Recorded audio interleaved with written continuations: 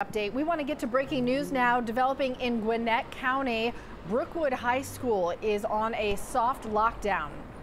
11Alive's Bo Beth Yates is there live. Bo Beth, you say there are a lot of parents there as well.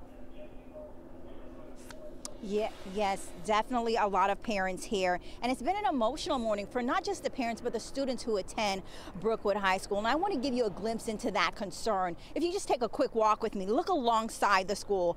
The cars are now parked all around the school. There are even cars parked in the middle lane. And if we kind of just just glance over, these are many of the parents who got alerts about their school being on a hard lockdown earlier and then decided they were going to come here to check on their children. Come this way with me. If we look to the front of the school, many of those parents are still there, kind of just waiting to get more details and trying to check on their children. Now, what I'm told is that this all started around 9.50 this morning when the students were in their third period. I'm told the school was placed on a first a soft lockdown, then a hard lockdown, and the students had to follow security protocols. Alert was also an alert was also sent out uh, to the neighboring community, telling them that there was potentially a suspect in the area that was either being looked for or potentially could have gone on property. So many of the parents just kind of got concerned. They came down here and then decided